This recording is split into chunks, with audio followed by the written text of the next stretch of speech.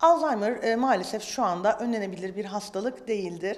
E, ancak hastaların e, Alzheimer geliştirmesini en aza indirgemeye e, yönelik olarak risk faktörlerini e, azaltmaya e, önerilerimiz olabiliyor. E, sağlıklı yaşam, dengeli beslenme, e, bir takım öğrenme e, ile ilgili sinir hücrelerinin birbiriyle bağlantılarını arttırmaya yönelik dil öğrenme olabilir, yeni hobiler edinmek olabilir, yeni sporlara başlamak olabilir, e, fiziksel aktivite olabilir e, veya e, bir takım de- e, diyete yönelik e, yeterli ve düzgün beslenme konusundaki öneriler Alzheimer'ın e, gelişmesine sebep olabilecek risk faktörlerini e, indirgemeye yönelik, azaltmaya yönelik e, önerilerimiz.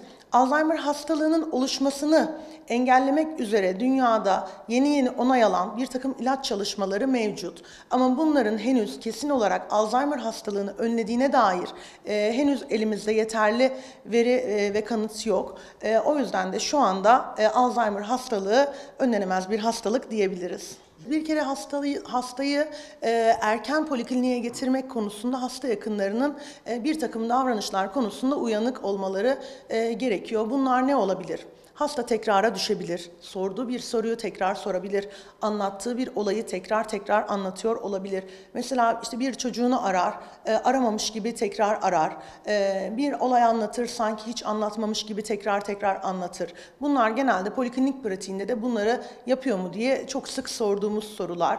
E, veya hasta e, not alma ihtiyacı hissediyor olabilir. Yani bize şunu der genelde, e, ben önceden e, aklımda çok fazla her şeyi tutabilirdim, her şeyi aklımda tutarak çok rahat yapabilirdim ama e, son zamanlarda not alma ihtiyacı hissediyorum. Not almadan e, işlerimi yapamıyorum. E, veya işte e, yemeğin altını açık unutma, yemeğin içine koyacağı malzemeleri karıştırma bazen olabilir.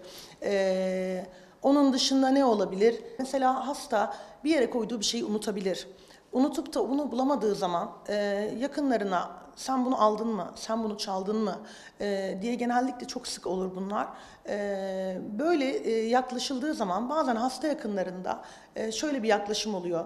İşte annem veya babam bunu bana nasıl söyler? Sen beni hırsız olarak mı itham ediyorsun veya bunu bana nasıl yaparsın? Genelde orada hasta yakınlarının e, şu yaklaşım içerisinde olması lazım. Bu bir hastalık. Bunu kendi bilinçli zihniyle bilerek, isteyerek yapmıyor. E, nasıl şeker hastalığına sahip olabiliriz ve şeker hastalığının bazı belirtileri varsa bu hastalıkta da genelde hasta yakınlarına böyle söylüyoruz. Yani beynin e, bazı anıları kaydetmesiyle ilgili beyin bölgesinde bir küçülme, o bölgedeki sinirlerde bir yıpranma olduğundan dolayı o kişi bir yere bir şey koyduysa eğer onu koyduğu anıyı, koyduğu anın anısını beyninde kayıtta tutamadığı için aslında o anı hatırlamıyor.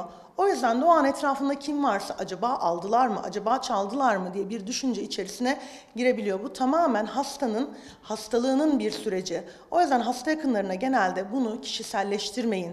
Bunu size isteyerek e, söylemiyor. Bunu size hırsız diye suçlamak için aslında yapmıyor. Alzheimer'ın patofizyolojisinde çok daha farklı bir takım proteinlerin anormal birikmesi kesin olarak kanıtlanmamış olmakla birlikte farklı genetik, çevresel ve e, bir takım çok multifaktöriyel dediğimiz yani çok fazla şeyin etkilediği bir e, patofizyolojisi var bu hastalığın ama burada beslenme eksiklikleri kısmı çok da içerisinde değil aslında. Ama biz neden istiyoruz bu tetkik yani bu e, kan değerlerini?